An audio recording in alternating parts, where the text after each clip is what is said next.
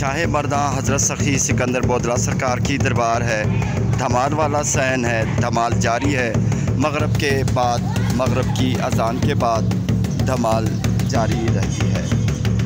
دھمال شروع ہو جاتی ہے تقریباً پندرہ منٹ کی دھمال روزانہ۔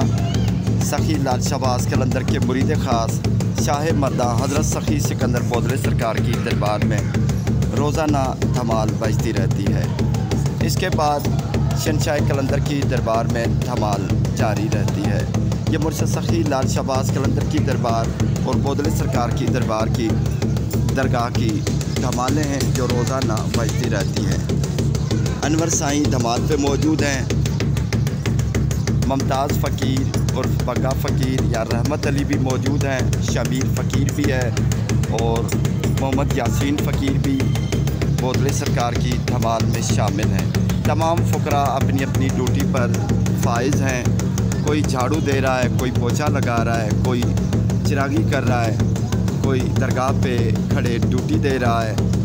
تو کوئی آنے والے زائرین کی تلاشی دے رہا ہے۔ یہ تمام فقراء کی ڈیوٹیاں ہیں۔ سخی لال شہباز کلندر کی دربار بودلے سرکار کی دربار میں آنے والے زائرین کے لیے، ان کی سہولت کے لیے فقیر، فقراء اپنی اپنی ڈیوٹیاں نبھاتے ہیں۔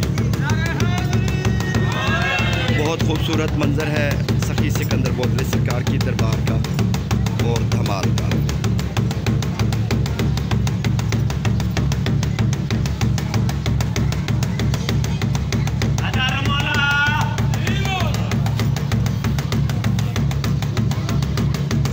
سنی مساجد سے جب اذان ہوتی ہے تو دھمال شروع ہو جاتی ہے۔ اور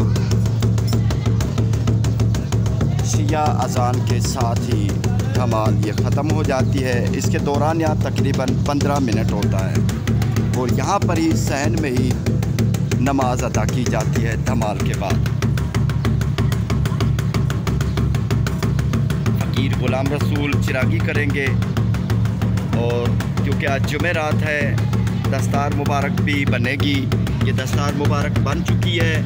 یہ دستار مبارک بودلے سرکار کی مزار کی تبدیل ہوگی۔ ہر جمعرات کو بودلے سرکار کی درگاہ کی دستار مبارک تبدیل ہوتی ہے۔ جبکہ مرشد سخی لال شہباز کلندر کے مزار کی روزانہ دستار تبدیل ہوتی ہے۔ بودلے سرکار کے فقراء ہی درگاہ کی دستار مبارک بناتے ہیں۔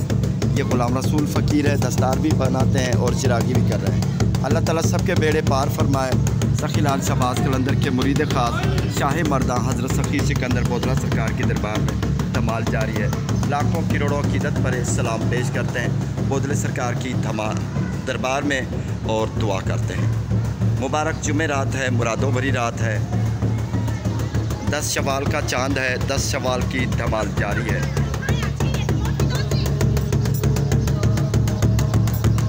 دھمال میں ایک عجیب سرور ہے۔ ایک